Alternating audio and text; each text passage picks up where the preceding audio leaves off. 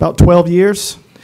Uh, it's my pleasure today to facilitate our panel discussion, uh, Truths and Transitions. Uh, I want to start with a few thank yous. First, I want to thank all of our wonderful panelists um, who we will meet momentarily.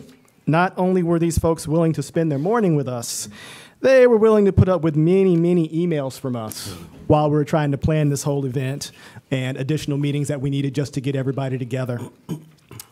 I also want to thank the college for creating an atmosphere that allows an event like this to take place.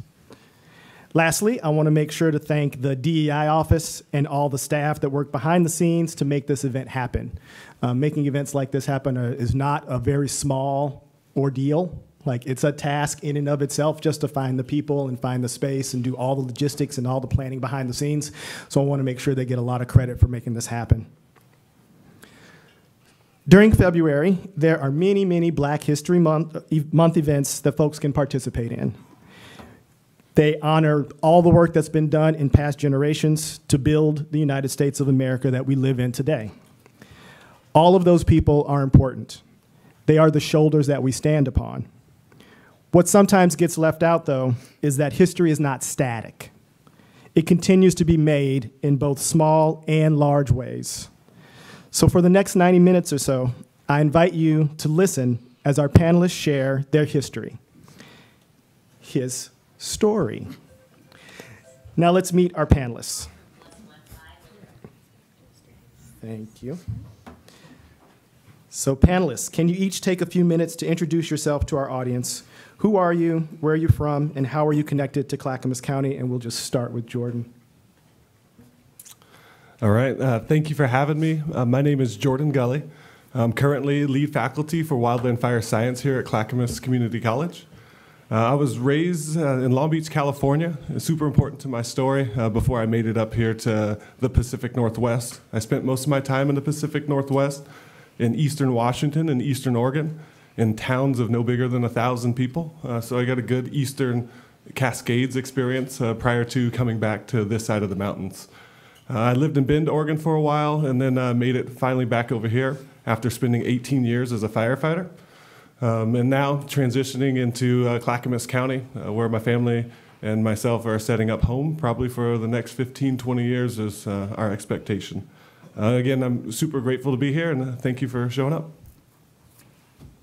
Hi, everybody. My name is Kelly Montgomery. I am the Director of Custodial, Mailroom, and Duplication Services here at Clackamas Community College. I've been in Clackamas County now for 10 years. I grew up in Southern California as well, um, Riverside County, which is in the Inland Empire between Los Angeles and San Diego counties. Um, I got to Eastern Oregon um, in 2002 to go to Eastern Oregon University, where I graduated. Um, from there, I tried to go back to California and realized that I kind of like Oregon a little bit better. So, we, uh, my family and I, moved from Riverside County back to uh, Eugene, Oregon, where I stayed for a good seven years before a brief stop in Bend as well. And finally, um, 10 years ago this month, I accepted this uh, role here at CCC, and I've been in Clackamas County ever since. Good morning, everyone. I'm James Graham, Economic Development Manager with Oregon City. And it is truly a privilege uh, to be amongst these fine men uh, as we talked in the green room about uh, the various experiences. Uh, I am a son of the South, and uh, uh, I have, I'm a, a um, I'm a father, I'm a son, I am a, a brother, I'm a, a nephew, and uncle. And I happen to do this work in 16 cities and eight states. So I've seen a great deal of the country and how it treats money and how it treats real estate. Uh, also, um, uh, I uh, was drawn to uh, Clackamas County actually by, uh, by a headhunter, who, a good friend of mine, who said, uh, I know you, you enjoy this work, but why don't you try something different? And I said, What? And he said, Oregon. And I said, Where is it? so uh, I didn't know what to expect. I am, uh, so I enjoy the work. I, I've been enjoying Oregon. and it's a pleasure to be here with you. Thank you. Hi, everyone. My name is Taylor Stewart, and I'm the executive director of an organization called the Oregon Remembrance Project. I help communities with truth and reconciliation projects around repairing historical injustice. Most notably, I worked with the community of Coos Bay, Oregon for three years to memorialize a man named Alonzo Tucker, Oregon's most widely documented African American victim of lynching. February 2020, we held a soil collection ceremony near the spot of the lynching. In June 2021, we unveiled a historical marker in the community to memorialize both Alonzo Tucker and the thousands of other African Americans who were lynched in this country. I've lived in Portland my whole life, uh, and I figure if I can't change the whole world, can't change the whole country, I might as well change where I'm from. Um, and so I choose to do this work in Portland and Oregon as a whole. And I'm here today because my work has also brought me to Clackamas County, doing work in the community of Gladstone regarding the community's relationship with the Ku Klux Klan, doing work in Sandy, Oregon regarding the community's history of white centrality and the sundown history, and work in Oregon City regarding the story of a man named Jacob Vanderpool, the only known person expelled from Oregon under the state's black exclusionary laws. So thank you for welcoming me into your community. Good morning. Can you guys hear me? Mm-hmm. First, I want to acknowledge that I am nervous. This is my first time doing something like this. Thank you, Tory, Cece. okay, my name is Aaron Henry, and I've been working for Clackamas County for about nine years now. My primary role in Clackamas County is to work with homeless veterans here to get them housed. I am originally from the Midwest, born in Chicago, however, raised in a little town called Lovejoy, Lovejoy, Illinois. And it's one of the first black free towns in our history, right next to the National City race riots that happened way back in the day. I served six years in the United States Marine Corps. After that, I, uh, I'm an alum of uh, P- PSU. What brought me to Clackamas County was a great lady by the name of Erica Silver. She recruited me into my position, and I, and I can't thank her enough. So, thank you guys for having me. All right, thank you for those introductions. So, when I first finished my PhD program, I remember my grandmother calling many, many, many times to ask when the ceremonies would be. I was hyper focused on starting a new job though, because what happens, like I'm in biology, everybody I knew had a degree, and the big thing was like, what do you, where, where are you going to work? Like, where are you, are you postdocing here? Are you postdocing there? Are you getting a job with industry? Like, what's, what's your next step? So I had that concern, and then there's imposter syndrome. I'm like, I don't even know how I got this degree. How, this doesn't make any sense to me whatsoever. So the idea of standing on a big stage in front of thousands and thousands of people, because I went to a pretty large school, like a PSU size school. So the idea of standing in front of a lot of people like that and getting this prestigious degree scared me. So instead of going through all the ceremonies, I really focused on getting our family moved and getting started at my new job and all those things. So I just never really made a big deal about that whole graduation process. And it probably took me about three or four years to realize that what my grandmother was looking for was not my graduation. She was looking for our graduation, right? She wanted to be able to show people this is what our community can do and my child is an example, or my grandchild is an example of all the things that we're able to accomplish. So ever since that event and like realizing what was going on there, I make it a point to try to make it to every single, like I make it to every CCC graduation. I try to make it to like all the other kid graduations, all those things, not just so that I get to enjoy the event, but so also people can see me and recognize like that's a thing you can do. So when they see me in that faculty walkway or when they see me like clapping on our walk through graduation, they go, "Oh, that that guy works for the college. Oh, I didn't realize like that could be me. Cool, this is great." So that has really been one of the things that's flipped a switch in my mind and just helped me become more involved in supporting the community. So my question for the panelists is is there a moment that stands out in your mind as a key event that shaped who you are now? And can you share that moment with us? And I think we'll start with James.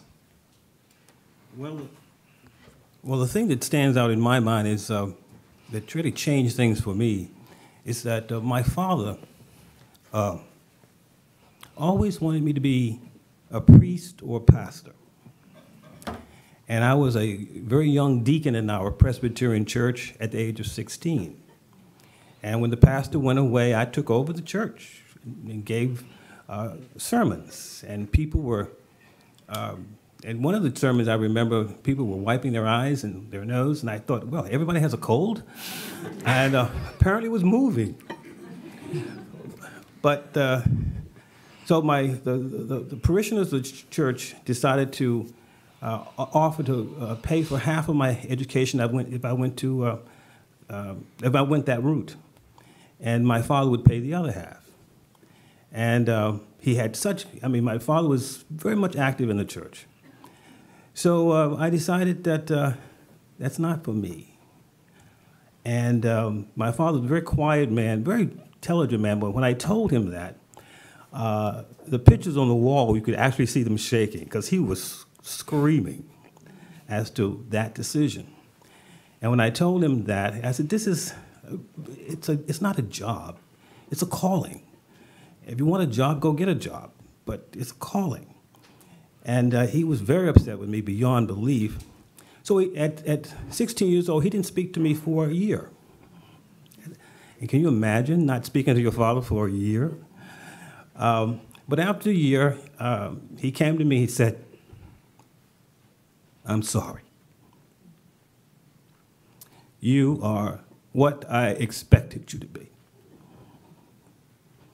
I love you, and you made the decision uh, like a man. So um, that was a very important moment for me, and it changed everything.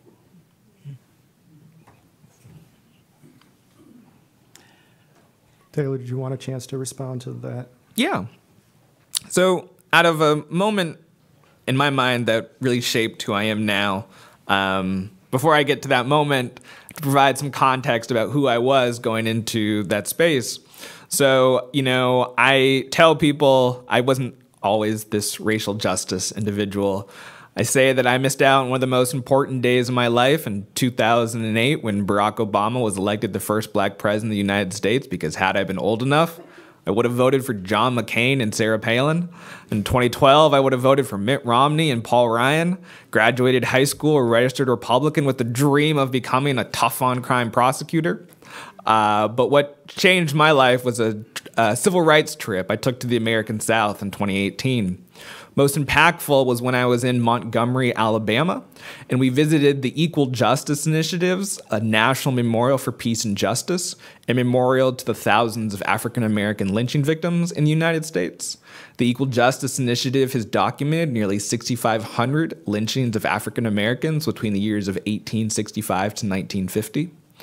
And when you enter the National Memorial for Peace and Justice, you're met with these six foot high pillars that have the name of the state, the name of the county, and then the names of everyone who was lynched in that county. And I had always known about lynching in the abstract, but to actually read the names of people who were lynched in this country made this history personal.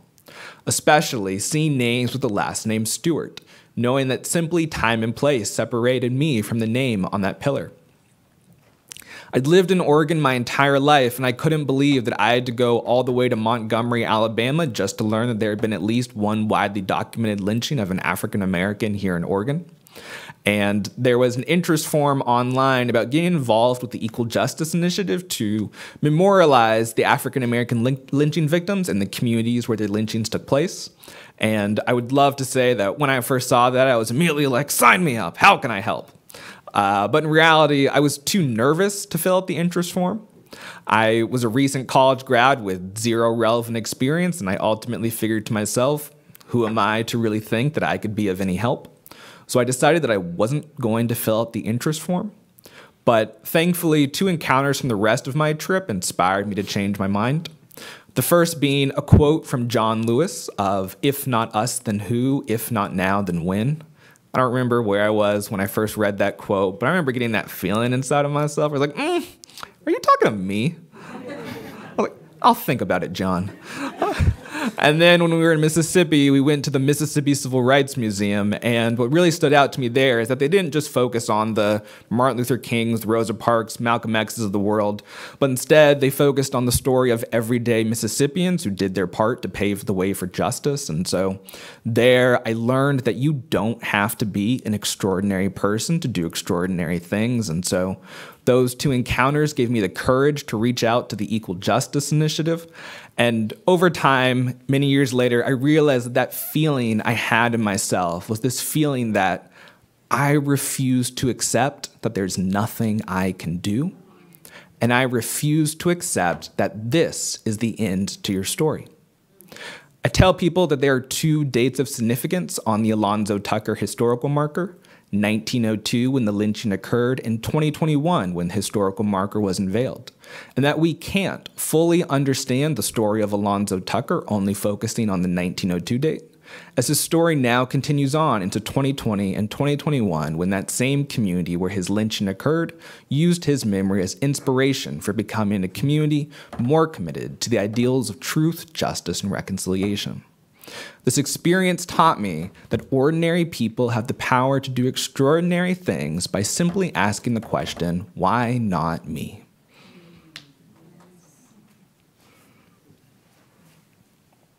Uh, anyone else?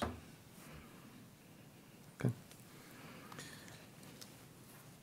Thank you, James and Taylor, for sharing.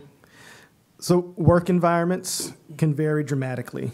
I've been in spaces where microaggressions were the norm. Um, I remember being in one workplace where I had a coworker like literally walk up to me and, as small talk, want to know what gang I was in when I grew up. And I was like, "What are you talking about?" And so, you know, you kind of have two choices. You can decide I'm going to engage because this is somebody that I need to deal with, or I can just walk away. And since it was a coworker, we had to have a conversation about that. I've also been in places where, um, like I was, I was a scrub nurse for a while, and I got to be the music manager because I had the best collection of music. So every surgical, we'd be we'd sit down and do like a two-hour surgical procedure, and it would be like Marvin Gaye and Kool and the Gang for two hours. This is what we're doing, nice and relaxed. No animals will suffer. It was great. Regardless, there are sometimes themes that come through no matter the work environment. So for our panelists, what is it like for you to be a black man working in your field? What are some of your best work experiences? Are there roadblocks that you have encountered? And if so, how have you learned to navigate them? Have you had help or given help in those situations? And what did that look like? And I think we'll start with Aaron. Man, I've been working in the social service field for about 25 plus years. And being a black man working in the social service field, it's, it's rough especially dealing with predominantly white people. And I'm saying it's rough because we're going in, we're doing home visits. A lot of times we're doing home visits. I will not go to, I will not do a home visit alone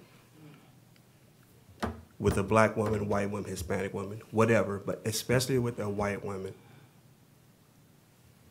And and looking at that, it it it shouldn't be like that. I'm there to perform a service. However, while I'm there performing that service, there could be anything said in that initial moment. So that's that's one that's a barrier that I've been facing. I've also been called I don't say the word, but I I've also been called a nigger here in Clackamas County, working in social services. And it's and that was tough to swallow because again, I'm there trying to help this person, provide this person with services. So, looking at everything in a whole, it shouldn't be that way. No matter what color our skin is, where we come from, I'm there to provide a service. So, to answer your question, Tory, it's it's it's a, a tough road to hoe. I remember working for Salem Keizer School District in, the, in their homeless program. And we had this black lady to walk into the office. She was upset. I don't know why she was upset. However, she walked from the, I'm going to say the back door. She walked in the front door, and everybody up there, they ignored this person because she was upset, an upset black woman. You know what they did? They came and got the only black person in the office to deal with this black lady. At the time, I didn't know what that was about. However, I figured, you know, they want me to work with this lady because we're both black. Maybe we can salvage this, whatever this was.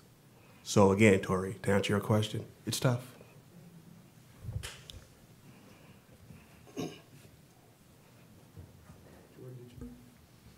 Jordan, did you want to jump in?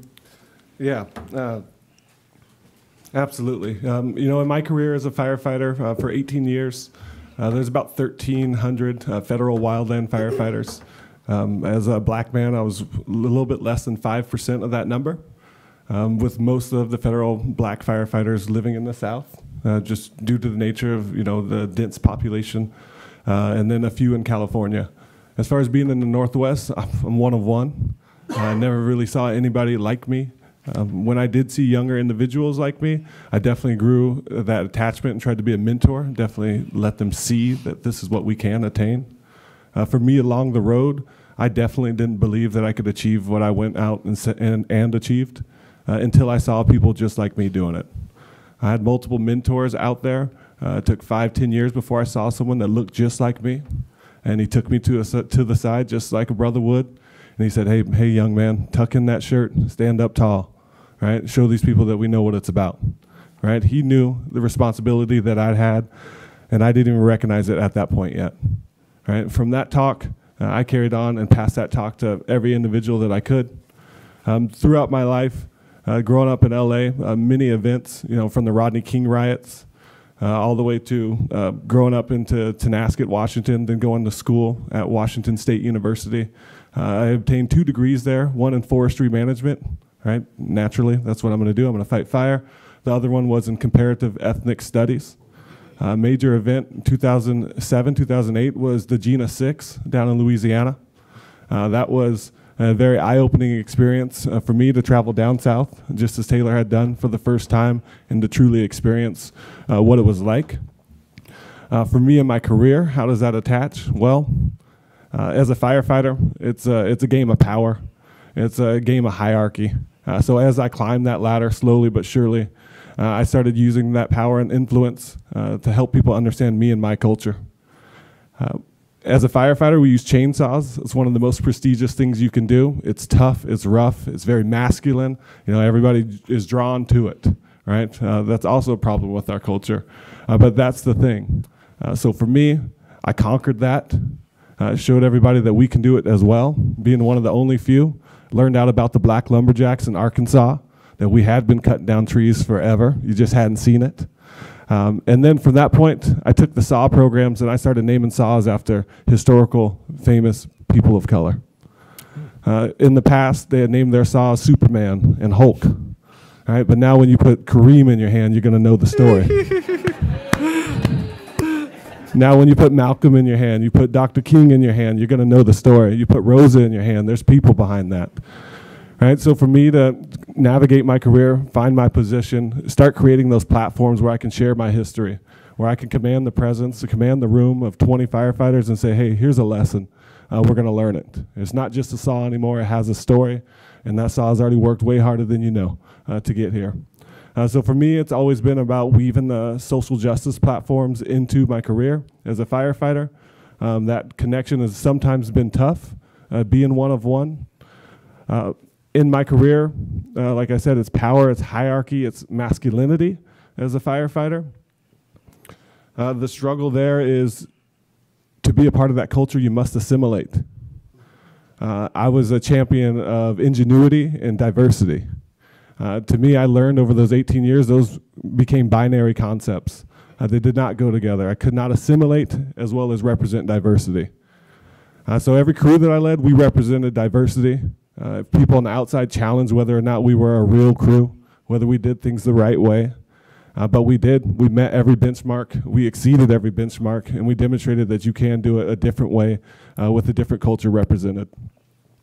Um, the final thing that I left my career uh, with the federal uh, government, uh, I had set up a staff ride, and a staff ride is a historical study of, a, of an event. Uh, traditionally, the military has done it uh, to take people back to battlefields and demonstrate, you know, the victories, the successes. Let's learn from the leadership. Let's learn from the strategy so we don't get into that situation again. Uh, so for my final project for the federal government, I built a staff ride uh, to include Selma, Alabama. Uh, we took a lot of white folk who had never knew anything about this. Uh, we try to extract all of our leadership lessons in wildfire from the Army and the military, and there's plenty of lessons that are can be stolen from them. Uh, but there are a lot of famous coaches. There's a lot of famous civil rights leaders. There's a lot of people who have overcame and demonstrated high levels of leadership out there that never participated in the military. Uh, so for me, as a wildland firefighter, I tried to steal as many leadership lessons uh, from those leaders, those leaders that impacted me, those coaches, uh, those civil rights leaders like Malcolm X and Dr. King, and then try to implore other people to experience that. Uh, so creating the staff ride, uh, it's been participated uh, by over 1,000 people so far. they go down to Selma, Alabama. They spend three days down there. they get to travel around the town, all the historical sites. Uh, we make them march part of the way to Montgomery, Alabama, so you can feel uh, feel what that walk feels like. We can talk about the logistics it takes. We can talk about the community it takes to pull off those types of things, and talk about how people are united in the front, and that is true leadership. Um, so for me, it's always been about again uh, weaving that social justice platform into that uh, powerful mindset of being a firefighter, and then dragging my teammates uh, to make sure they experience it as well. I, I sense a lot of managing pushback too. Yeah, you know, you do manage pushback because you know I'm the only one representing my culture, um, and so uh, as most of these men know, uh, when you're one of one or one of two or one of three, uh, you have the big expectation that. Uh, we have to manage our integrity. We have to make sure that we're not going across the line, and that I do represent all of these men when they're not around me, one way or another. Um, so just being true to myself, making sure that I was uh, a student always, making sure I was current on issues, making sure that I could speak confidently towards things because I was going to get pushback. Uh, what I was doing was diversity, it was new, and firefighting is unchanged since 1910. Um, and so, yeah, pushback is was expected, and uh, I just made sure I prepared myself for that moment. I've been, um, I've been doing economic development for 34 years now. And as you, as you can imagine, uh, anyone who's been involved with investments, real estate, lots of money, I was one of, I was one for a long time, uh, all around the country. Uh, there are very few economic development, black economic development directors uh, at the time that I started in the country. And uh, there are very few, I think I'm only one in, in Oregon. So I'm a bit of a unicorn again. Um, but I have uh, decided a long time ago uh, that I'm not going to be a victim to anybody's privilege. So what I have, uh, I have faced obstacles and roadblocks in the world of finance all my life. And uh, I will never forget the time when I was in a big room and I was in the front of the room uh, facing the speaker, which was the Federal Reserve Chairman of the United States.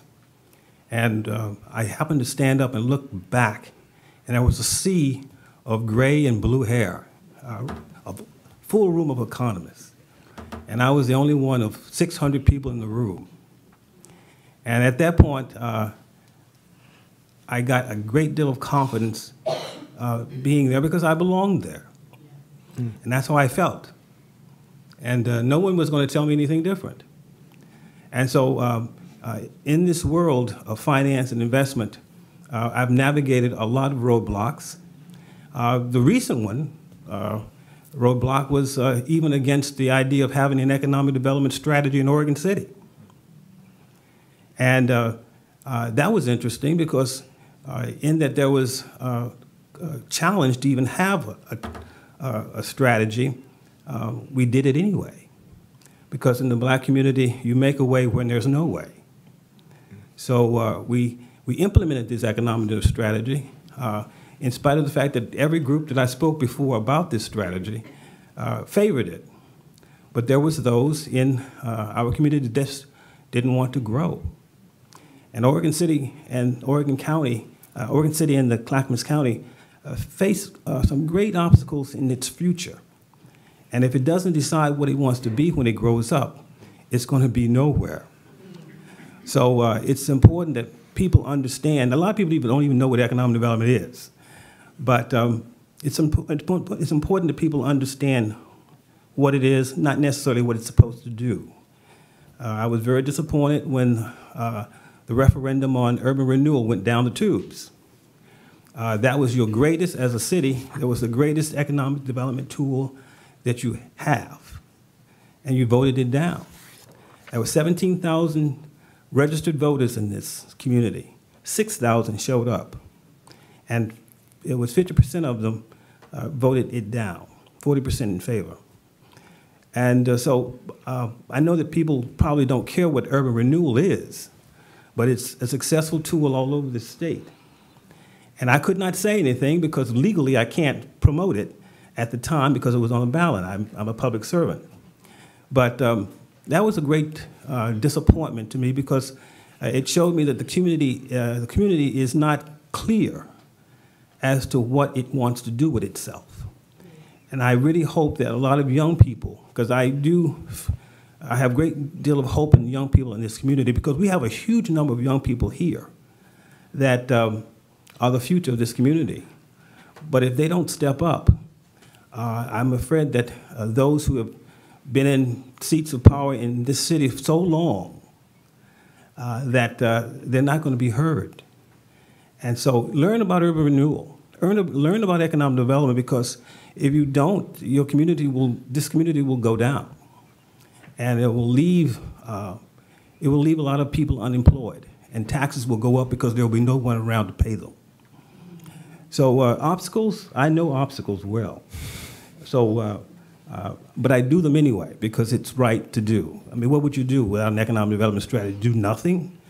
Vision is, and the other thing I also noticed that making the decisions, making decisions, oh, this is, I think it's an Oregon thing.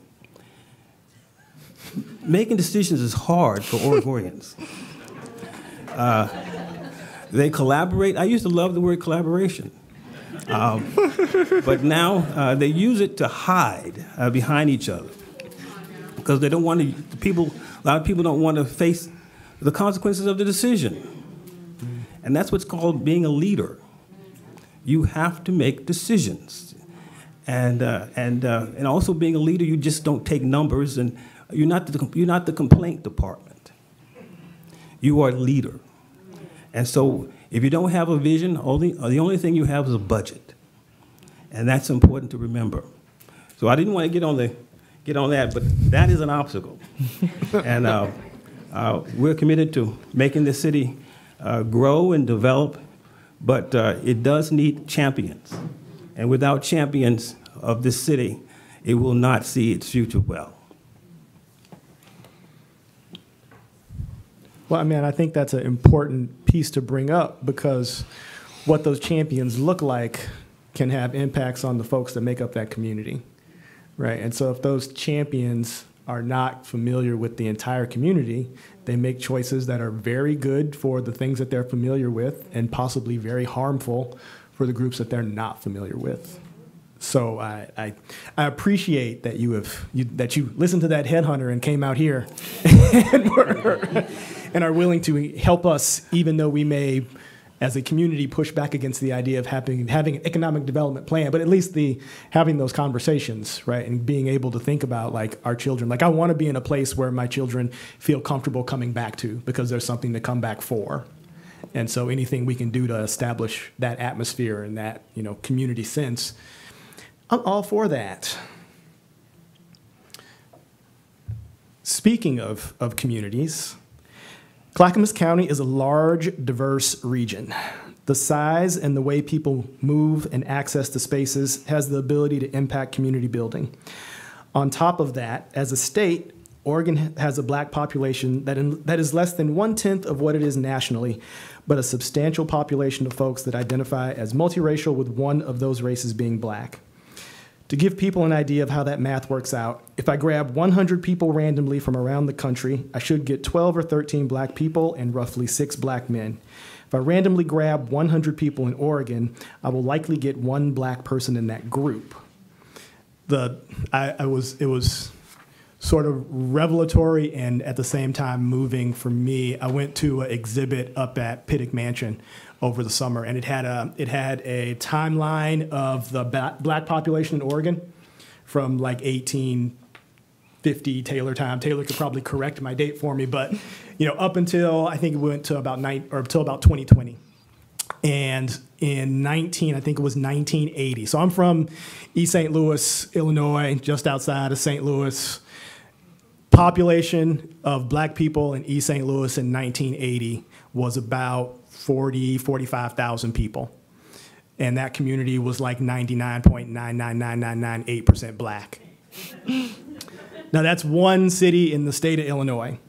The population of black people in the state of Oregon was 40,000 people. So if my city had come to Oregon, we would have doubled the state's population. Our city. Yes, our city. and, and, and, and not counting if we'd have brought Madison, Alton, Granite City, we wouldn't even have to go over across the river to pull people. Like we, we could have like quadrupled the size of the black population in Oregon in 1980 without any trouble. So it just, you know, it just, it's different for folks trying to navigate that situation when the populations are what they are. So with that in mind, what does community building look like for you in Clackamas County, and how do you build community here?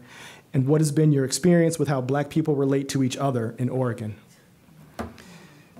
And Taylor, do you want to start? Yeah. You've got that nice historical perspective for us. uh, well, uh, adding a little bit to the um, interesting demographic statistic. So, Oregon's black population is about 2%.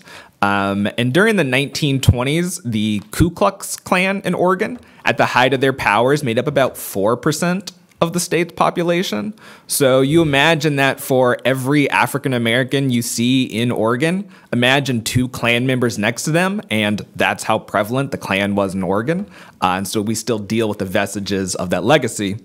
Um, also, piggybacking off of some of the conversation about resistance, uh, when I you know tell people about my work, people most of the time are like, "So, do you get any kind of pushback in these communities?"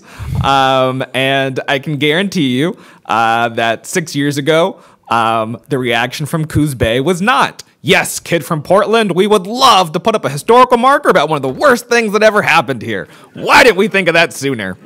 Um, but I have, I feel like I've made um, inroads in communities through two core ideas. The idea that we can't change the past, but we can always change our relationship to it. And the idea that we have the power to rewrite the ending to stories of historical injustice. Before I started doing the work that I'm doing now, when I was in my master's program, I interned at an organization called Lines for Life. They're a suicide and substance abuse prevention organization. So if someone calls the National Suicide Hotline from an Oregon area code, it gets routed to Lines for Life. And even though I was in the Department of Communication, I still went through the training for those who were on the phone lines. And one thing from that training that I applied to the work that I do now is the idea that when you're on the phones with someone, you are helping them unpack their luggage. But what you can't do is in the call with their stuff, their emotions all strewn about. You have to help them repackage their emotions and their feelings before you can end the call. I take that same approach to community organizing where if I'm going to help you unpack your history, I'm not going to leave you with your history all strewn about. I'm going to help you repackage that history into something new. And so that has been helpful in doing some of this work in communities across the state of Oregon. Um, in my conversation with folks, and even folks on this panel, oftentimes black people have to leave their home community to find their cultural community. Um, and so I see the work that I do as helping create footholds in the communities for African Americans to be able to step up and take more prominent roles within their community. In Coos Bay, we did the Alonzo Tucker historical marker as part of Coos Bay's first ever Juneteenth celebration in 2021. Uh, and the community has continued the celebration of Juneteenth ever since. In 2022, uh, the Coos History Museum unveiled another historical marker about a diverse mining community in the area called Beaver Hill, which at the end of the 19th century uh, represented one of the most diverse pockets in the state of Oregon. And in 2023, the leadership of Juneteenth was passed from the History Museum to the local black community, where leaders in that community were able to showcase their history, tradition, and culture, all a part of this renewed effort to tell more diverse stories of their local history. So this past year, we had, I gave a talk in the morning, we had a family style gathering in the evening, then we showed uh, a movie on the, the actual Monday of Juneteenth. And I'd say we had about 150 unique participants across all three events, which may not sound like much, but Coos Bay's population is only 15,000, so we had about 1% of the city's population participating in Juneteenth. And so don't quote me on it, but I say that Coos Bay has the largest Juneteenth event per capita in the state of Oregon.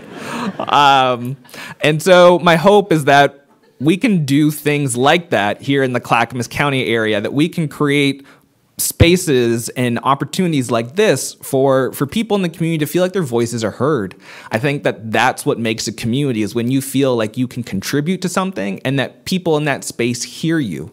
And so I hope that we can, you know, my challenge for all of you would be to create one of these panels in your own community space. Uh, we're here at Clackamas Community College, but I hope that you can bring this same kind of conversation to your workplace, to your church, to your neighborhood.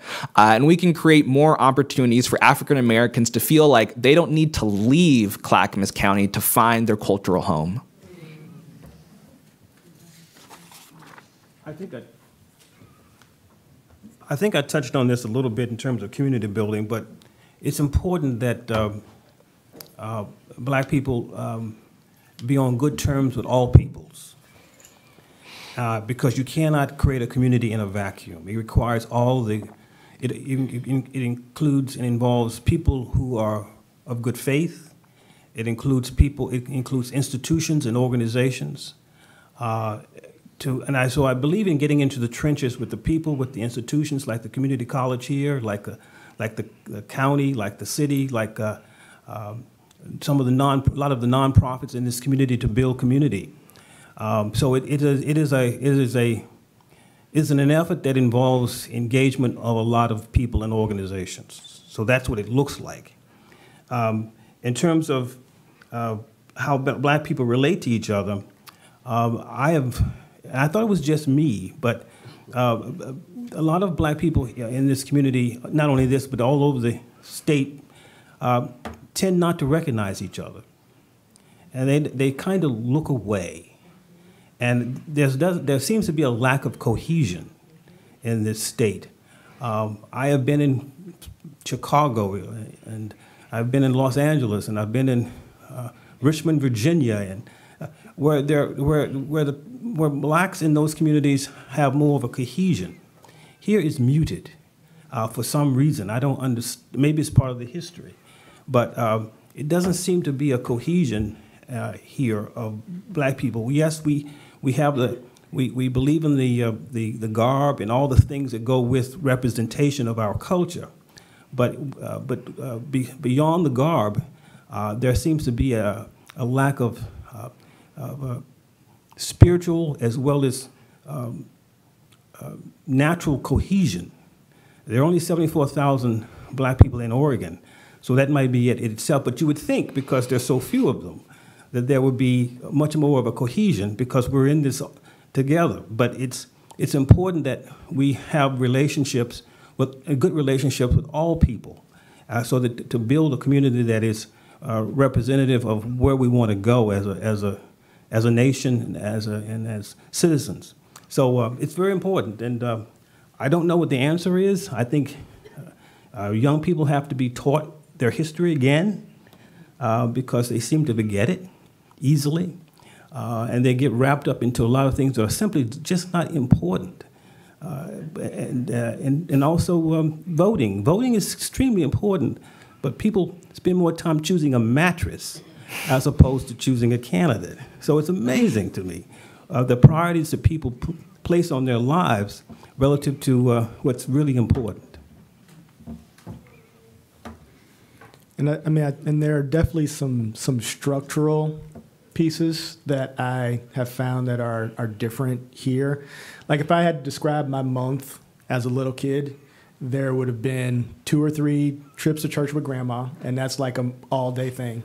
And if I wanted to know where anybody was doing, sister so and so, brother so and so, cousin who's not actually a cousin so and so, like that happened at church. And if it didn't happen at church, it happened at the barbershop. The barbershop, I got an update on all the high school teams, all the sports teams, so and so that went to the NFL, so and so who's trying out for about. All the tea was spilled at the barbershop. And so finding those spaces is not the same. Like I hear a lot of people talk about, like, okay, well, we're going up to Portland for this. They live, you know, in Molalla or something, and that's that's where they have to make that commute. And like that's hard, right? Like having to make that extra step. I mean, for me, by the time I was like 10, I could walk to the barbershop. It was five blocks away. I could walk to church. That was eight blocks away. I meet my grandma at church because if I didn't meet grandma at church, there was going to be a conversation. so, right. So just you know the the idea of doing that here. I mean, that would be like, well, sure. So why don't you get on this bus that's going to take you to TriMet? You take that to the train, and then you can like, it just for me at least for and for our family, it, it just hits different. So it's really easy for it to drop off. Like I remember when we when we moved out here, we had conversations about like, oh yeah, we'll have access to all these things, and we'll be able to make up that difference. And then over time, you're just like, man, that's a lot of it's like four hours out of my day. I'd rather sleep. I got a lot of work to do, right? And it just becomes a back burner, and it's hard to like keep it in that that forefront. I think for people. Let me story. this story taking me back to the little town back in Illinois, right next door to Tory. There was this lady in my community. Her name was Miss Fanny. Man, Miss Fanny made the best snow cones or snowballs you ever had. And we would, go, everyone would be out at the baseball diamond. There was Miss Fanny, old black lady with her snow cones, giving them away practically for a dime whatsoever. So, and then it, it also takes me back to where they said it takes a village to raise a child. Back then, we had landlines, we didn't have cell phones, as you all know. So, when, let's say, Miss Smith seen Aaron Henry doing something bad, Miss Smith was on the phone with my mama. And when I got home, the switch was already picked off the, the bush. and I'm sure a lot of you guys have heard these stories, but that's true. That, that's so true and community, I remember the men. You know, I make jokes with my white friends out here. I'm like, man, you guys are going hunting. You guys got your guns and all of that. Where I'm from, all the men and the boys, it was like a village. We get our best sticks to go rabbit hunting with our dogs.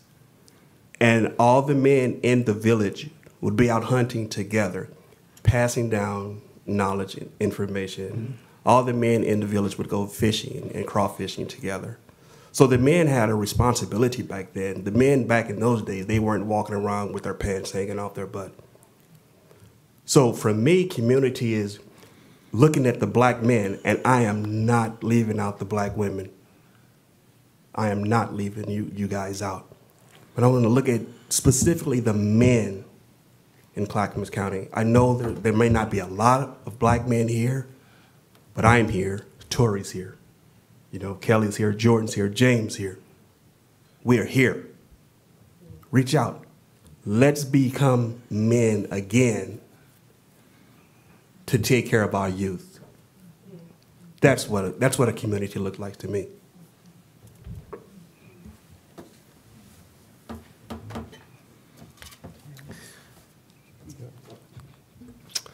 Yeah, you know, I'll answer the the second part of that question first. Um, you know, my experience as a, just interacting with other Black people in Oregon, it is definitely disjointed. You know, especially growing up in in LA, uh, seeing a whole bunch of people like me. I was just just one of the guys. Uh, then moving uh, to where I might see someone every six months or maybe every every eight months uh, that looks like me. I have to travel all the way to Seattle in order to see someone that looks like me. Uh, so definitely disjointed. I'd say as I became an adult, uh, one of the things I saw in 2016 after the election of President Trump, uh, I felt a little bit of unity with some of the black men black women that I saw in the Northwest, uh, we did start nodding our heads at one another. We did start recognizing that, hey, it's just two of us in the store, and we're together, right? Um, that happened after 2016. It was absolutely absent uh, prior to that. You know, I definitely felt alone and I had to earn the respect of other black people before they would even talk to me uh, in the Pacific Northwest. Um, so, you know, one of the positive things I did take from uh, President Trump's time was that, you know, we did inch closer together. Uh, asking this question, Tory, uh, allowing us to answer this question is to me uh, as close of an inch as I'm going to get in my real life of just realizing that we all experience that the same and we're all yearning for the exact same acceptance uh, in our own group. Uh, for me, community, uh, I took this question just a little bit different. I thought about what action items do I take into every community. Um, I've been, you know, the outlier in all the communities I've been in. So, you know, one of my best skills that I believe is uh, I can blend in, I can make friends, I can create connection, I can break barriers pretty quickly with people. I've always been dropped into like a fish out of water and here figure it out pretty quick. Uh, so for me, uh, when I move to a new community, which you know, I've lived in multiple places in the Pacific Northwest. I immediately try to integrate myself in the community. I do tons of volunteer things to make sure that I have plenty of character witnesses, essentially that people know who I am. Uh, so when some nonsense comes out, I know my integrity, you know my integrity, you've seen me everywhere. Uh, my wife and I, we have a nonprofit that we run. Uh, we're training youth athletes. My wife is a high school coach. I'm a high school coach. Uh, I'm, I'm sure that parents know me. I'm sure that the kids know me. People can vouch for me at so many different levels. Uh, those are my actions that I take because I've lived in a town of Paisley, Oregon, of 237 people, where I was the only person, and I made sure I knew all 237 other people. Uh, also living in Tonasket, Washington, where I went to high school, a town of 1,100 people. I made sure I knew all 1,100 of those people and their names, uh, even though they struggled to know my name, and there's only one or two of me. That was always something I was confused about. There's two of us. it's Kelly and it's Jordan. I know everybody's name in here, but I'm Kelly, he's Jordan. Okay. So, you know, uh, for me, it's always been about uh, deeply getting integrated into my community. Uh, you know, as a as a black person in white communities, it is a responsibility that um, it, it is unfair. Uh, that that I have to go through that amount of energy just to prove uh, that I'm a, I'm a solid citizen. I'm contributing to the community. Uh, I deal with the, the natural thoughts of, of what am I doing? Am I doing enough? Just like any other human. Uh, but I'm always trying to solidify myself within whatever community to make sure that people know me and that when something happens or when someone says, why is he doing that? Uh, someone else can be like, come on, man, that's Jordan right there. So uh, that's my strategy when it comes to build community. I'm going to jump in. Um, words that Aaron said really stuck with me um, as I was listening because I too was taught that it takes a village. I grew up very in a very close knit family, and I left my family and moved to the Northwest where I had my own family. So I know that I spent a lot of time trying to be that community to my my two sons um, because they didn't grow up around their family and you know they did, I think, almost seven years of school here in Oregon City where there's not a lot of people that look like them. So um, I too try to be that community for them, but also try to be active in this community, helping coach uh, youth football. And that way they could see me and my sons out there and connect us to this community so that if something happened with me or my sons, they would know that they're of good character and they have a good family. I would not have to do that in California, and that's not lost on me. Um, another thing that's interesting is I was talking to my wife. Both of my kids have graduated high school. My youngest one graduated in 23. And throughout their entire time in school, they never had a teacher that was a person of color. And that is massive because they weren't always, um, their teachers didn't always identify with them. Like, I, I had to spend a lot of time going to schools to kind of advocate for my kids because they the teachers may have had perceptions. So I had to be more um, present in that community. You know, so it's it's interesting being you know like a fish out of water. Sometimes it feels like you're a fish out of water in a place where you shouldn't feel that way. Yeah, I, I used, I used to say, well, not used to, I, I will to this day tell people like, before I moved here, I was lazy. Right, I, I was, I had the benefit of being in spaces where basically there were people that took care of that stuff. Like we had a bunch of Taylors. Like when I lived in Chicago, we had a bunch of Taylors that were doing all the like heavy lifting around making sure that any issues were being addressed. I I had some Kellys already that were at schools and stuff that were out there like advocating for all the black students. My college had a BSU, so I didn't have to worry about like are things at the college happening in ways that are beneficial to you know black student populations, right? Like because there's such a high population, I got to be lazy, and then I moved out here and was like, oh, oh, there aren't as many people available doing that work, so oh, I can't be lazy anymore. So that that also I mean, I kind of I kind of like to think like for some people trying to do that work because as y'all said, like there's a lot of energy that has to go into doing that work, and if you imagine trying to sustain that energy for 30 or 40 years, man, that's a I mean that'll that'll lower your life expectancy, right? So I got the I got the benefit of having like a 35 year jump, so I didn't have to do it for a while, right? And then I could jump in when I'm 35, 36 and start trying to do some of the activity. So I feel like I still have the energy levels of like a Taylor, even though I'm a little bit older than Taylor, and I'm not going to age either of us by saying what that gap is. But I think that has kind of helped me be willing to try to move into some of these spaces and do like the types of work that y'all are talking about, even though I grew up in that that lazy space where I just had so many people that were able to be my support and I could just walk in and walk out or just tell people like, oh, so and so, like that's that's the coach you need. Okay, there are no coaches like that. I guess I need to coach basketball for a little bit for fourth graders. I know a little bit of basketball, right? like, I feel like that's where a lot of us end up falling as a result. And you know, for me, uh, coaching is really uh, just an avenue for people to get to know black people, right? Because I, I understand that um, they're only watching the news or they're hearing what their parents have to tell them. So for me, especially coaching young women, uh, it's an opportunity for them to interact with a black man uh, that's competent, that's strong, that's going to treat them with respect. Um, because I don't know what they're being told, I don't know what they expect truly. Uh, so for me to be able to interact with the youth, it's uber important for me to try to set that tone of like, you know, this is this is what a black man is, and I know that we're all different, uh, but I really want to raise that bar high, and especially in the white communities that I live in uh, you know, it's a, it's a responsibility and it's a challenge to say, you know what, this this is who we are, and you shouldn't expect anything less the next person you meet.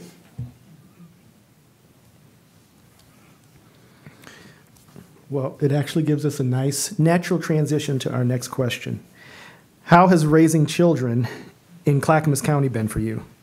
Are there specific successes that stand out to you? Are there specific challenges that you have encountered? I think we've already talked about a couple of them, but open the space? Uh, I'll hop in and say, you know, um, being a biracial myself, uh, I recognize that my place uh, as a child was was different than some of their places. Um, you know, Taylor definitely identifies with probably what what, what I experienced, but um, you know, for Black people, uh, sometimes I'm not black enough, uh, and then for white people, I'm definitely too black. Right, so as a as a biracial kid, you're definitely in the middle of those groups. Uh, when you move to the Pacific Northwest, you're absolutely black. Uh, there's no not black enough anymore. I became as black as, as anybody else immediately. So um, my kids are also biracial. Uh, I married a white woman. Uh, the first thing that my grandmother said, who is from Mississippi, who's where my family's from, she goes, "Oh, she'll pass." You know, and like I was like, "Whoa." You know, I, I know enough about American history and know exactly what you mean by that. Uh, but my grandmother was relieved that my children would pass. Uh, she knows where I live. She knows the country. She grew up in Jim Crow schools. Uh, she knows that that's not exactly what it is in the Pacific Northwest, uh, although it still happens in the South uh, today. Uh, but you know, they'll pass. Uh, so for me, it's always been uber important that my kids understand their blackness. just like the rest of these men, I know that we're trying to share that with our children, which is a challenge, especially when the rest of the world is trying to define that blackness as well. Um, when I'm the only black person in their life that's defining their blackness, myself and my sisters and uh, my grandmother, if we're the only ones doing it, it's a amount of exposure to us. Right? If they're seeing more of you than they're seeing of me, I mean, we're just battling on defining yourself and what blackness is. Uh, so uh, that's been a challenge. Uh, fortunately, at this point in time, all my kids champion that blackness, uh, which is awesome to see. Uh, they go to school with you know three to four other black kids um, that they are in their friend group. Uh, I definitely look forward to the challenges that my kids face when they are challenged by their black friends, by their white friends, to say, why are you hanging out with them? Or are they your friends? And those types of things. And my kids will have to make that choice whether or not they'll pass or they're going to stand up for themselves and say, you know what, I am uh, with them uh, all the time, no matter if I look like it or not. Um, so I hope that my kid, uh, my kids, all three of my daughters, learn to, to be able to leverage that platform that they have and use their voice uh, to represent their blackness. Um, I have my two sons who just graduated from Gladstone in the last two years. Um, prior to going to Gladstone, they attended um, Oregon City High School.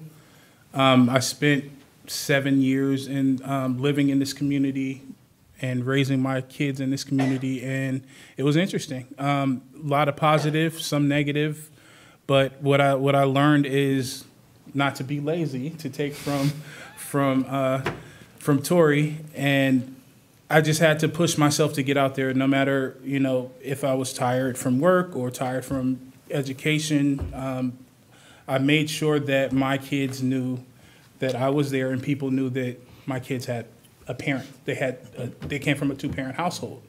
Um, it was it was also very important because I did live in the community and I was iffy with letting my kids just go out and play and be free because some white adults wanted to talk to my children like they were adults and that didn't sit well with me so um, as much as my kids hated it I made sure that I was around and and at least, you know, within earshot of them playing.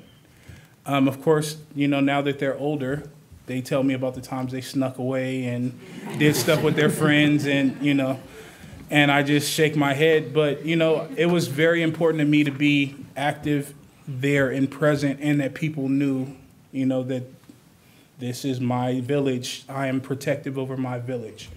And as uh, you know, for what it's worth, a lot of good stuff happened for both of my sons here in this community. Um, and I'm grateful for the time that they spent here because it's going to help form them as men. Um, I made sure that I taught my kids what it's like to to be black in America because it, there are differences, whether you believe it or not. And I had to have these tough conversations with them about what it's like to be a black man in America and how to present yourself and how you can be seen as a threat even if you're doing the same exact thing your buddy is doing.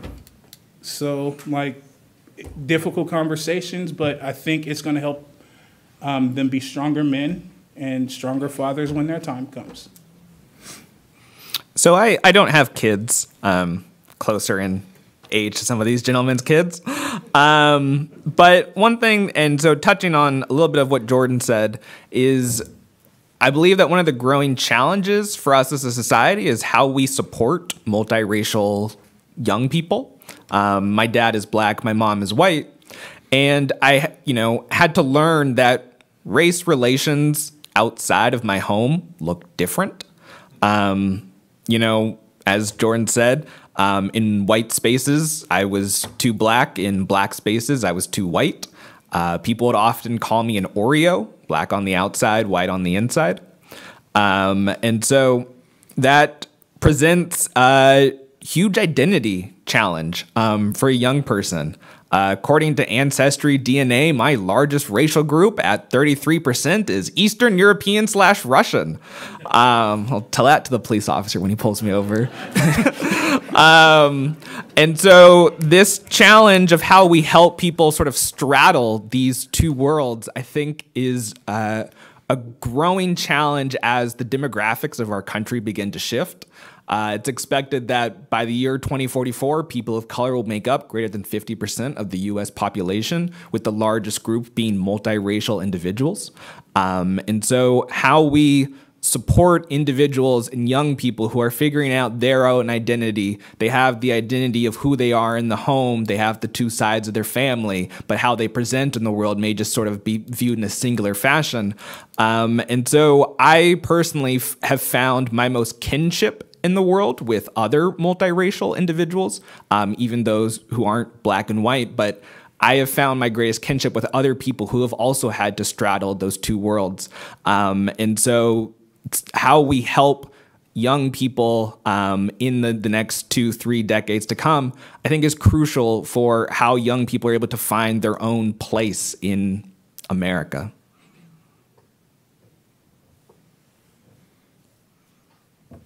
Just want to make sure no one else has thoughts before we change questions a little bit.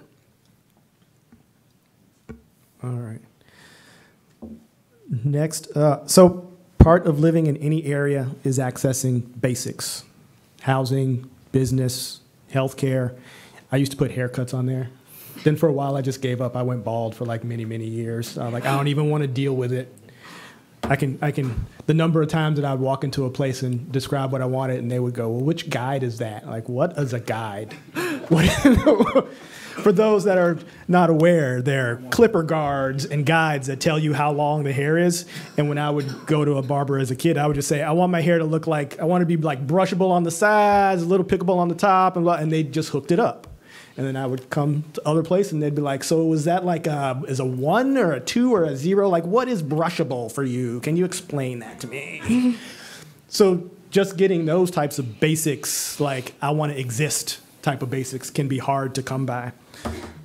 What have been your experiences with businesses, healthcare, and housing in Clackamas County? What seems to be going well in those areas, and where do you see opportunities for improvement? I think, Kelly, we were going to start with you.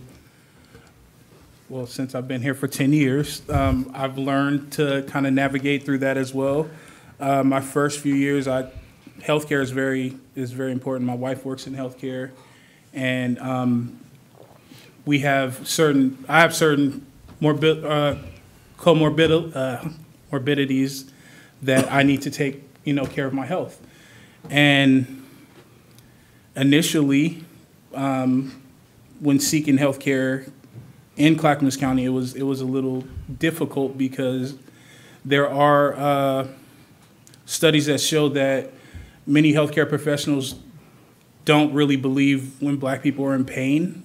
And um, because of that information, there's a lot of death when it comes to birthing black children because there's not adequate health care given and, and even bedside manner. So my first few years here, didn't really enjoy going to the doctors, um, didn't really connect with any of my doctors. And once my wife transitioned into the healthcare field here in Clackamas County, um, through her, I was able to actually find a good clinic with a good with a good doctor who actually tends to care about my health care even more than I do, which is a blessing, right? um, but it, it's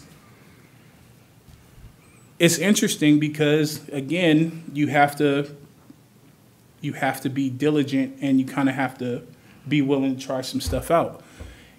Heck, even with going to restaurants, I can go into one restaurant and be greeted uh, politely, have a positive experience. I can go into another one and it looks really like they don't want to take my money. So, and that's here in Clackamas County.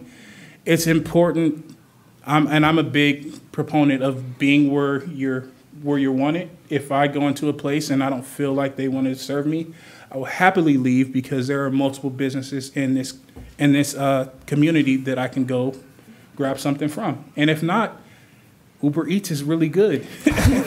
you know, so um, it's it's important to me again that because I, I plan on being here and I've put my roots here, I wanna I wanna make sure that I'm only doing business with people who want my business. If you don't want my business, I don't want to give you my money.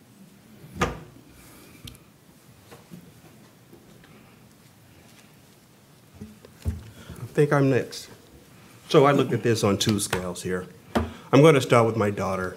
my daughter is biracial, and she was having a lot of health issues. And I look at this on a worldly scale, not just a Clackamas County scale, med- this medical thing. She was having uh, medical issues, and her mom and I, we were asking her questions. What's going? What was going on with you? What's going on? And she would give us, tell us what's going on with her, and I would make suggestions. Her mom would make suggestions as well. So finally, my daughter got to advocating for herself, and she was um, she got a new practitioner, this black lady, fantastic lady, and um, my daughter found her diagnosis, and they treated it totally different. So again, a lot of black people, a lot of people of color aren't listened to when we go to health examinations. and myself, I'm a military veteran.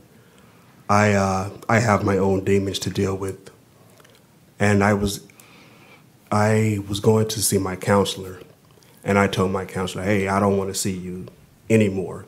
This is not a good fit. The shoes are too tight on my feet." And so uh, this counselor is through the VA system. So I was I told the uh, VA, the person in charge of the VA, that I wanted a black counselor, and I was told what you're dealing with does not rise to that level. So, and this was right around the time when all the George Floyd stuff was happening. So I was really messed up in the head.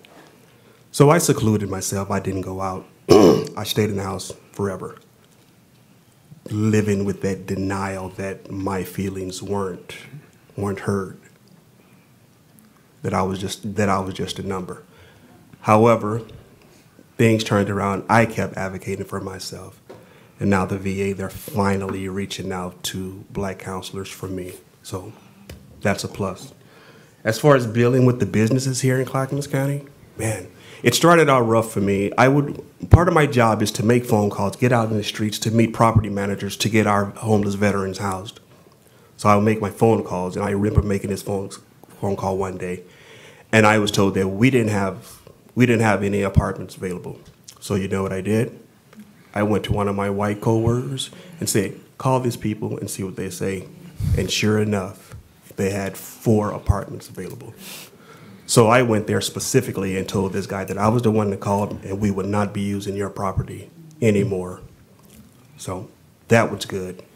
And now on the positive side of this, I have so many property managers calling me saying, hey, Aaron, we have property available for your homeless vets.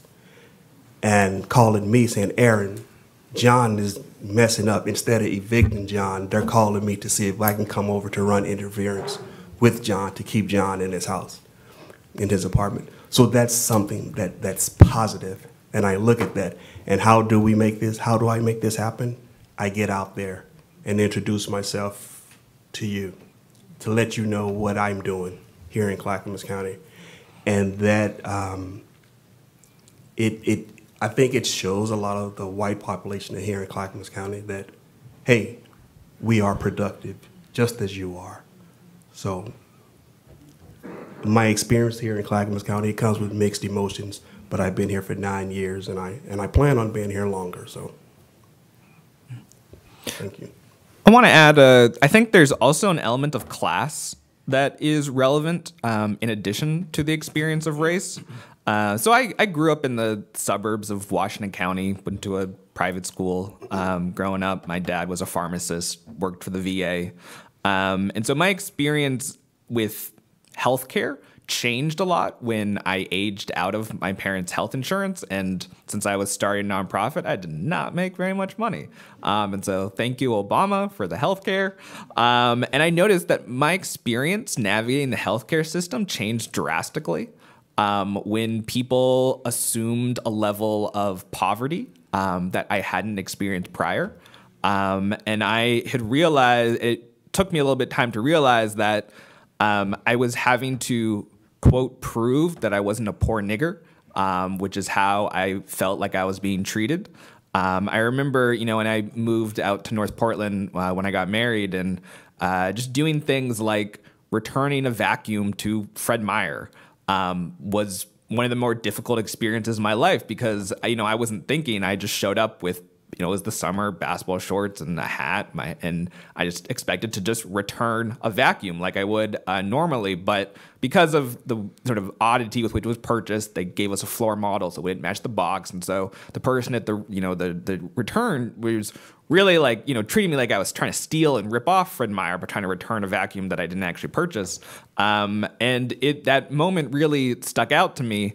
Um, and then also you know marrying a white individual who navigated those same experiences differently um, was really really eye opening, and especially seeing how. Um, this new element of class influenced how I was treated uh, in these different sectors. Um, and, you know, I'm not someone who particularly cares about designer brand clothing, um, but just because of these experiences, I felt the need to purchase a way more expensive than necessary Gucci bag.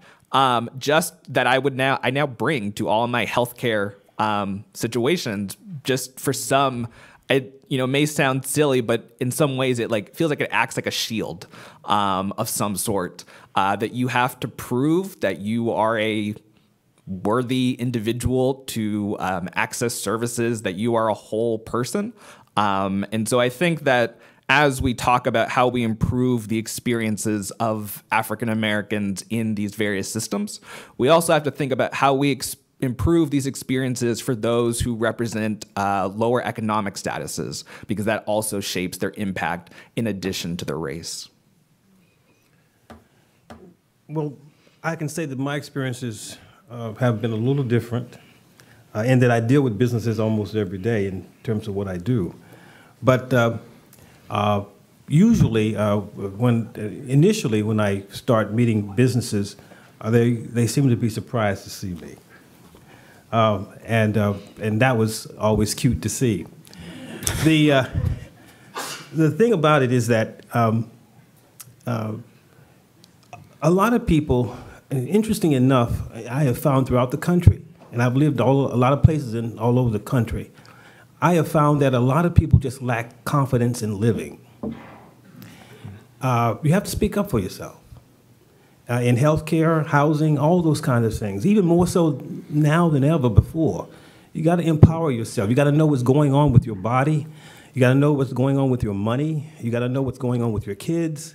You got to be able to speak up, and it requires confidence uh, because a lot of uh, I have found that a lot of people just don't have that confidence uh, to and put all their uh, all their uh, trust in people who should be trustworthy, and so that's not always the case.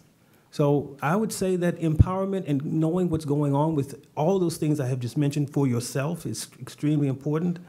Uh, I don't have problems with businesses because they know they'll see me again in one way or another, and so. Uh, my job is to help small businesses and large businesses and medium-sized businesses, and we do our best to do that. So my experience has been different in that regard. Um, but I would say that, um, finally, I would say that um, there are a lot of opportunities of improvement uh, in Oregon City and Clackamas, but uh, especially um, people or governments and people of leadership just needs to just need to understand that you just have to get out of your own way. Uh, vision is extremely important. If you don't have vision, that's once again all you have is a budget. And uh, the and, but at the same time, the people of the community have to be engaged uh, in ways that with confidence. They have to know what the citizens need to know what they're talking about. Uh, you just don't show up and just spurt off stuff that you feel that is right. You need to do your homework. And if you don't do your homework, you make a fool out of yourself by standing up and supporting stuff that you don't know anything about. And voting is extremely important because you need to know the candidates. That's how things improve. You just don't spend so much time looking for a mattress and not understanding that you got to understand who you're voting for. So I, I think that uh, empowerment, courage, uh, uh, education of yourself to live is extremely important. And I've, I've always approached it that way. It's Not always been easy, but you got to spend some time on yourself. It's called self care. Guess two two things come to mind for me. So, so Taylor, my my Gucci bag equivalent is um, I will wait for the doctor to to say a few things. So that because so taking myself to the doctor is a whole separate issue. But I'll take the kids to the doctor without any trouble. So I take the kids to the doctor, and the doctor begins his little like rundown of how the kids are doing, and he well, the first few times we visited our doctor, he would kind of very low level, they're fine, they're blah blah blah. And then I would throw in something like, oh, well, I'm looking at like your, you know, the averages on your the regression analysis for how tall they should be, and it looks like they're kind of right within that like nice standard deviation. And oh, you know things. Oh. And then the way that he talks to me is completely different. So I often will just wait a little bit into the conversation with the doctor and then basically say, "No, I am I'm not stupid. So you can talk to me with real words and we can have a real conversation and it's going to be fine." Same thing like like the dentist and then usually there's a follow-up that's like are, are you, what do you have like how do you know these things oh i have a phd in biology so i know a few things i'm not a medical doctor but i do know a few things. And then the other weird thing that happens to me at least is i get so many calls from home from family members that are like i went to the doctor and they gave me this. Do you know what it is? And i don't have a i'm not a doctor but i'm like let me look mom. I mean, let me give me give me like one day. I'll go check. I'll see what's going on. So like i have to field phone calls from family members looking to verify the medical information they are getting so that they feel comfortable continuing to receive the medical information and like getting care. And sometimes I'll, I'll be like, Mom, I'm not actually sure, but let me call. You know, I have a brother in law that's a doctor. I'll call him and say, Hey, does this seem right? And he'll go, Yeah, yeah, that seems good. And I'll call my mom back, Yeah, this, Mom, this looks like that, that should be okay. Like, you should watch for this and this and this. And then she goes, like, there's that type of thing that I've encountered a lot of times. And then there's also, and I think that speaks to some of that like generational trauma that shows up in a lot of our decisions. Um, so my grandma is in her 90s and she grew up in rural Tennessee. And when I would hang out with my grandma and we'd go to stores, the first thing she would tell me before we even got out of the car was don't touch anything. Because when she grew up, if you touch something, then they could say you stole that, and now who knows what's going to happen. So to this day, and my, my wife is in the audience, she will tell you, I do not touch things in the store because I don't want somebody to come over and go, well, we something's missing off that shelf. Was that you? I didn't touch it. And when I walk out of Fred Meyer now with the self checks, I like wave my receipt. Like, this is me. These are the four things I have. You can see it, and and it, it's and I know it's because like that's how she grew up, and those were the experiences that she had, and so she transmits though or transmitted those experiences to me when I was 7, 8, 9, 10, 11, 12, and so when I see my kids touch things, no, you need to stop.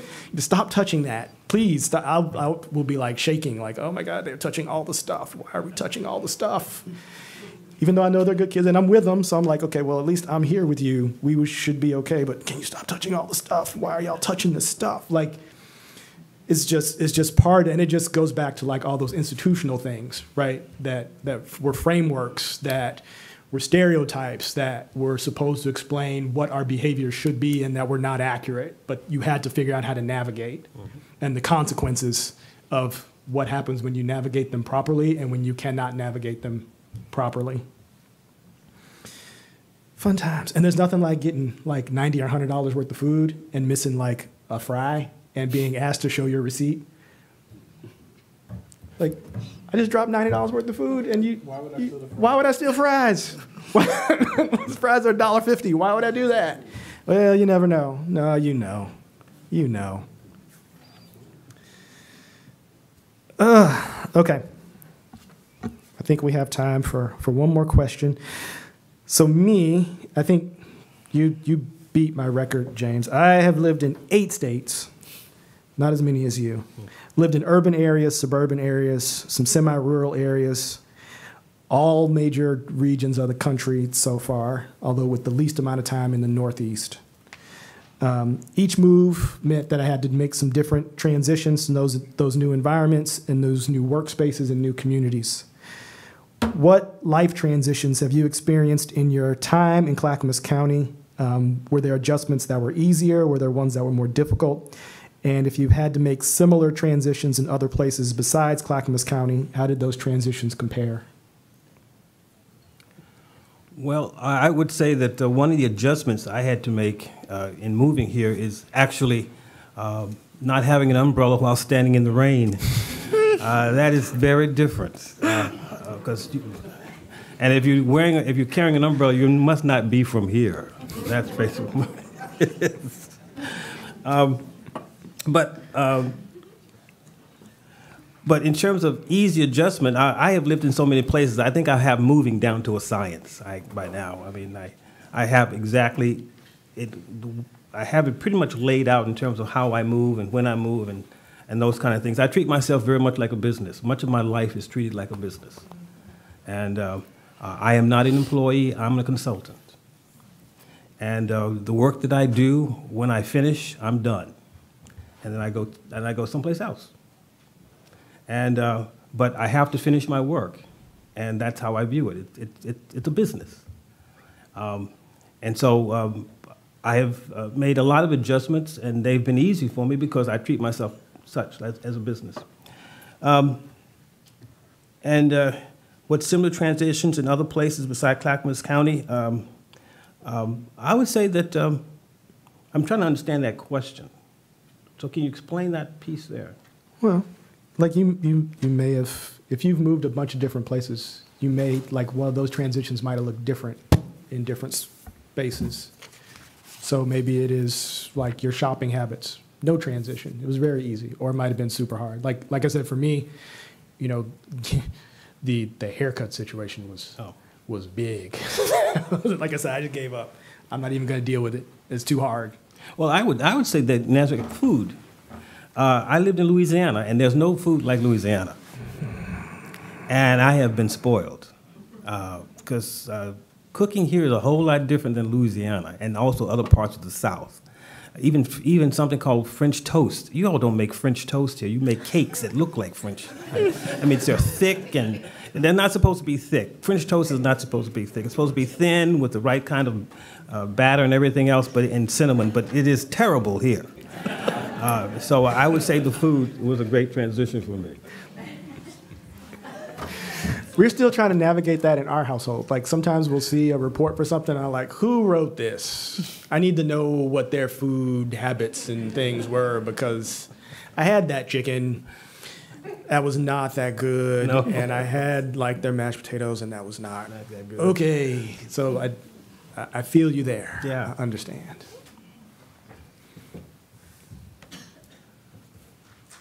I think, Kelly, did you want to? I'll jump in. Um, I've kind of moved around this state more than I have any other state. Um, so I came to Oregon um, for college, went to Eastern Oregon University, population 13,000 in La Grande. I came from a place of 2 million people, and that was my first culture shock. Um, from moving from La Grande, I moved to Eugene, which is a completely different culture shop because I didn't realize that hippies were still a thing until I got to Eugene. So, um, as much as I enjoyed my time in Eugene, um, sometimes you move to grow, and I wanted to grow within my career. So I took a job in Bend, and um, that was not pleasant. Bend is not good for black people, and I will say that to any person who will listen to me.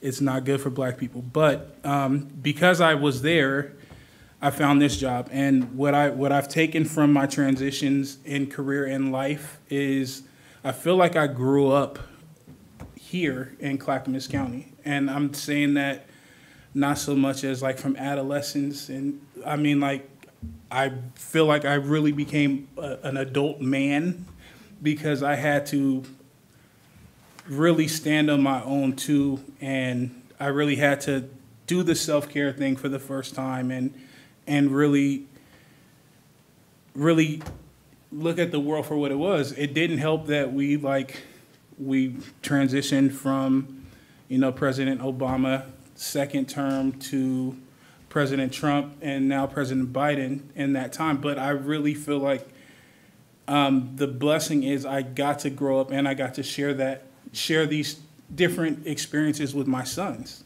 because now I can be a mentor for them like my father was a mentor for me and helping navigate that. So that's the way I took that question is how did I transition and what I take from Clackamas County is I feel like it made me a man. What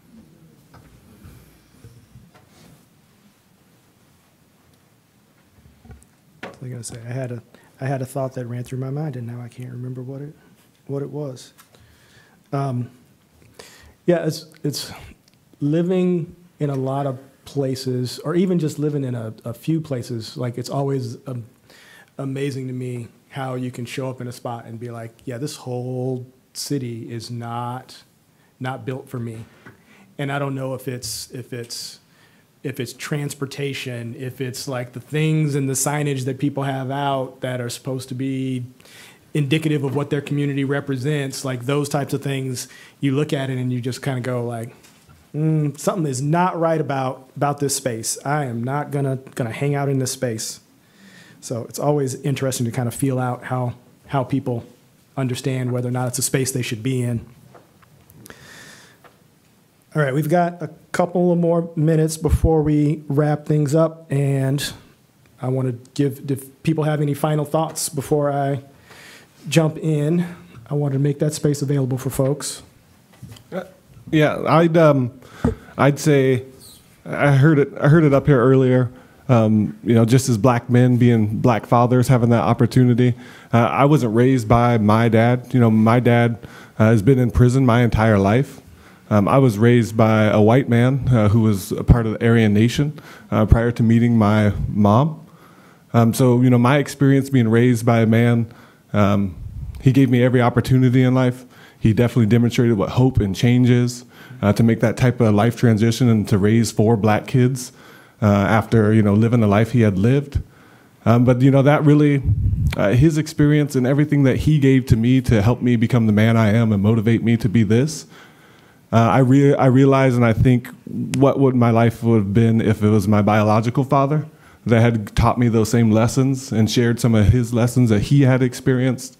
Um, and who knows why he's behind bars 100% and, you know, those types of things. But um, just a necessity uh, for men to be involved in their children's lives. Uh, so you can share some of these lessons. You can pass them down. We can go hunting. We can talk about things that aren't hunting. Uh, you can just learn what it's like uh, to be a black person. Uh, so the, all those moments, all those experiences are essential. I was super fortunate uh, to have a man walk into my life that could lead me and turn me into a black man, even though he had no experience truly with what that was, but he connected me to the people uh, that I needed to be uh, connected with. So I could see that representation. Um, so yeah, I would leave it with that. You know, it's important to be um, a strong father. It's important to try to represent and share those messages, uh, and it can come from anywhere. As I said, you know, I've, I've witnessed a major change from an individual, and uh, he turned me into who I am as a strong black man. I've never forgotten that. Well, I'd just like to thank you uh, for having me participate in this panel, and also thank all of you for listening.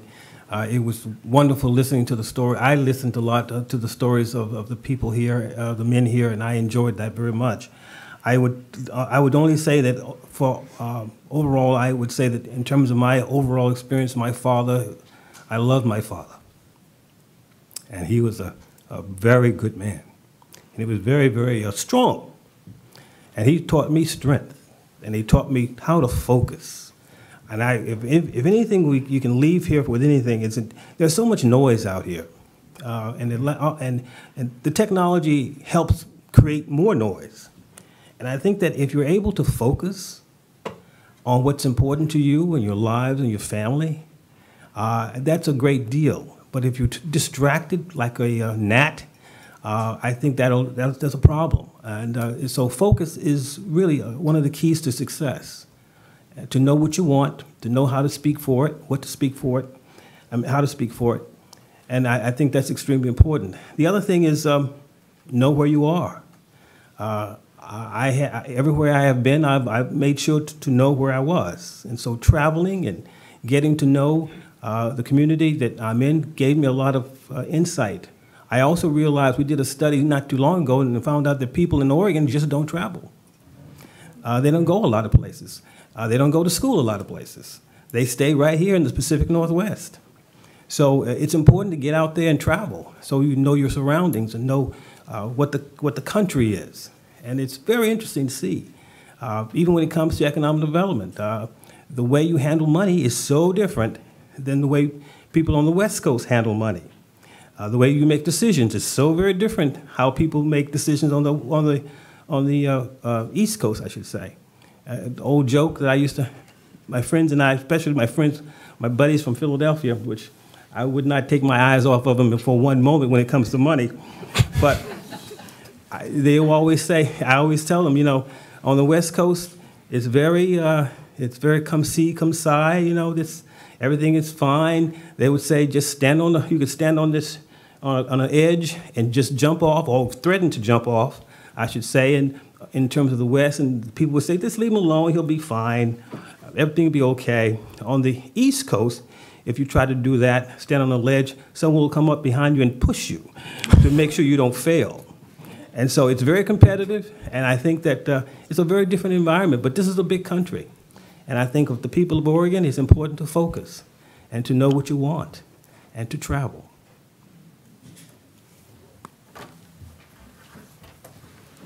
Well, I'll make, I'll make one, one pitch when you run into folks that could use some more education. We have it right here at the college.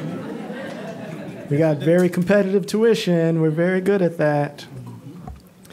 So, again, I want to thank you all for attending today. Um, I mentioned earlier that this event is one of many Black History Month events. But these men's stories are also reminders that Black history happens every minute, every hour, every day, all year. It's part of the fabric of American life. It is greater than a month, even if that month comes with an extra day every four years. Um, listening to these conversations, these stories, these histories illustrates how, even with such diverse backgrounds, there are commonalities. Like many black men, these men are brave. You got to fill out that form, even though you're not even sure you should be filling out that form. These men are fearless. They go and they make those phone calls to those apartment complexes, even though they may not be willing to pick up. And then if they can't get them to pick up, they figure out another way to get somebody to pick up. These men are resilient. When they get the pushback around all the stuff they want to do at work to make it a better place, they figure out how to get around it and keep moving forward. These men are kind they do all the coaching and make sure their kids are getting the support and they're in the playground, making sure those kids are being watched. These men are supportive. These men are smart. These men are all of these things, and they have to deal with the stereotypes, misconceptions, and sometimes just plain old regular run of the mill racism. And yet, every day, they wake up and do it all again. Why? Because that's what it means to be brave, fearless, resilient, kind, supportive, and so many other adjectives that can be used to describe black men. That's what it means to be a black man, not just in Clackamas County, but across the country. These men allow us to build better, stronger communities within the college, within their neighborhoods, and within our cities, and of course, within our county. And with that, I want to again thank them for their willingness to share their stories and their history with us today. So, round of applause for our.